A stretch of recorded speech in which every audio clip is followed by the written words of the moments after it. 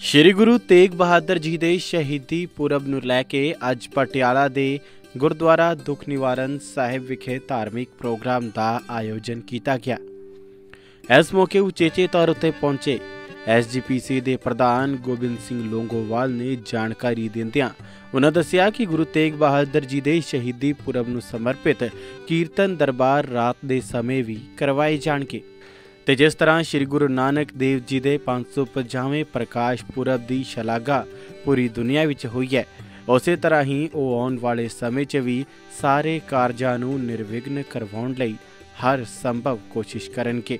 ਤੇਗ ਬਹਾਦਰ ਸਾਹਿਬ ਦਾ ਸ਼ਹੀਦੀ ਦਿਵਸ ਹੈ, ਜਿਹੜੀਆਂ ਸਾਰੀਆਂ ਸਿੱਖ ਸੰਗਤਾਂ, ਨਾਨਕ ਨਾਮ ਲੇਵਾ ਬੜੀ ਸ਼ਰਧਾ ਭਾਵਨਾ ਦੇ ਨਾਲ ਦੇਸ਼ ਵਿਦੇਸ਼ਾਂ ਦੇ ਵਿੱਚ ਮਨਾਇਆ ਜਾ ਰਿਹਾ ਹੈ।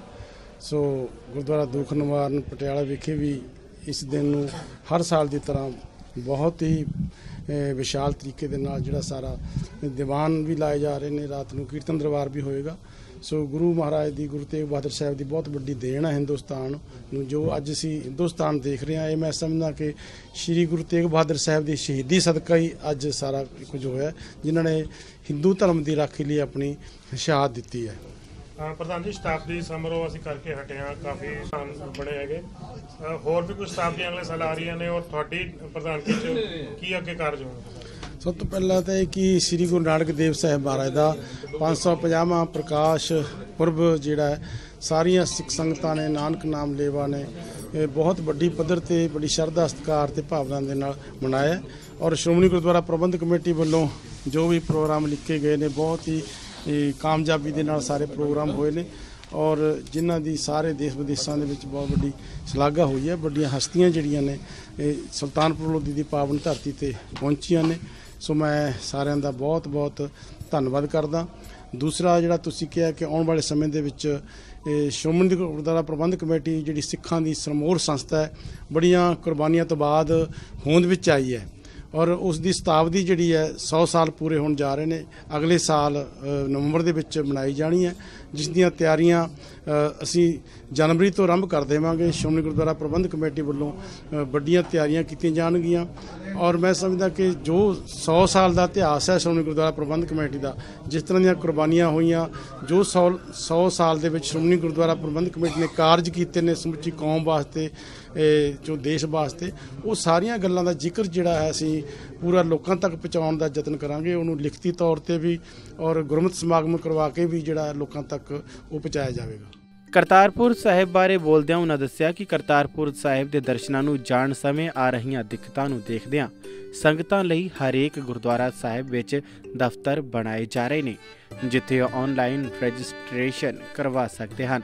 ਇਸ ਦੇ ਨਾਲ ਹੀ ਉਹਨਾਂ ਪਾਕਿਸਤਾਨ ਦੇ ਜਨਰਲ ਬਾਜਵਾ ਦੁਆਰਾ ਕਰਤਾਰਪੁਰ ਲਾਂਘੇ ਨੂੰ ਗੇਮ ਪਲਾਨ ਦੱਸਣ ਦੀ ਸਖਤ ਸ਼ਬਦਾਂ 'ਚ ਨਿੰਦਿਆ ਕੀਤੀ ਹੈ। ਜ਼ਿਲ੍ਹਿਆਂ ਦੇ ਵਿੱਚ ਜਿੱਥੇ ਵੀ ਸਾਡੇ ਇਤਿਹਾਸਕ ਗੁਰਦੁਆਰੇ ਨੇ ਉਹ ਉੱਥੇ ਅਸੀਂ ਕਰਾਂਗੇ ਕਿ ਉਸ ਥਾਂ ਦੇ ਉੱਤੇ ਜਿਹੜੇ ਦਫ਼ਤਰ ਖੋਲਾਂਗੇ ਤਾਂ ਕਿ ਜੋ ਕਰਤਾਰਪੁਰ ਲਾਂਘੇ ਦੇ ਸੰਗਤਾਂ ਜਾਣਾ ਚਾਹੁੰਦੀਆਂ ਨੇ, ਸੋ ਕਈਆਂ ਨੇ ਬਾਰੇ ਉਹਨਾਂ ਨੂੰ ਉਹਦੀ ਜਿਹੜੀ ਪ੍ਰਕਿਰਿਆ ਉਹਦੇ ਬਾਰੇ ਪਤਾ ਨਹੀਂ ਹੈ, ਉਹ ਸਾਰੇ ਫਾਰਮ ਵਗੈਰਾ ਭਰ ਕੇ ਉਹ ਸਾਰਾ ਸੰਗਤਾਂ ਨੂੰ ਜਾਣੂ ਕਰਵਾਇਆ ਜਾਵੇਗਾ ਤਾਂ ਕਿ ਸੰਗਤਾਂ ਨੂੰ ਕਿਸੇ ਕਿਸਮ ਦੀ ਜਿਹੜਾ ਸ਼ਰਧਾਲੂ ਨੇ ਜਾਣ ਜਾਣ ਵਾਲੇ ਉਹਨਾਂ ਨੂੰ ਕੋਈ ਦਿੱਕਤ ਨਾ ਆਵੇ। ਅਹ ਪ੍ਰਧਾਨ ਜੀ, ਇੱਕ ਪਾਕਿਸਤਾਨ ਦੇ ਰੇਲਵੇ ਮਿਨਿਸਟਰ ਨੇ ਕੱਲ ਇੱਕ ਬਿਆਨ ਦਿੱਤਾ ਹੈਗਾ ਵੀ ਜਿਹੜਾ ਜਨਰਲ ਬਾਜਵਾ ਦੇ ਗੇਮ ਪਲਾਨ ਸੀਗਾ ਕਰਤਾਰਪੁਰ ਕੋਰੀਡੋਰ ਭਾਰਤ ਦੇ ਅਗੇਂਸਟ ਬਣਾਉਣ ਵਾਸਤੇ, ਕੀ ਕਹਿਣਾ ਚਾਹੁੰਦੇ ਬੜੇ ਅਫਸੋਸ ਦੀ ਗੱਲ ਹੈ, ਮੈਂ ਉਹਨਾਂ ਦੇ ਬਿਆਨ ਦੀ ਪੂਰੀ ਇਹ ਨਿੰਦਾ ਕਰਦਾ, ਕਿਉਂਕਿ ਸ੍ਰੀ ਗੁਰੂ ਨਾਨਕ ਦੇਵ ਸਾਹਿਬ ਮਹਾਰਾਜ ਦੀ ਬੜੀ ਅਪਾਰ ਕਿਰਪਾ ਹੋਈ ਹੈ, ਜੋ ਬੜੇ ਲੰਮੇ ਸਮੇਂ ਤੋਂ ਸਿੱਖ ਕੌਮ ਦੀ ਆਸਥਾ ਸੀ ਜੋ ਨਾਨਕ ਨਾਮ ਲੇਵਾ ਅਰਦਾਸਾਂ ਕਰਦੇ ਸੀ ਕਿ ਸਾਨੂੰ ਖੁੱਲੇ ਦਰਸ਼ਨ ਦਿਦਾਰੇ ਹੋ ਸਕਣ।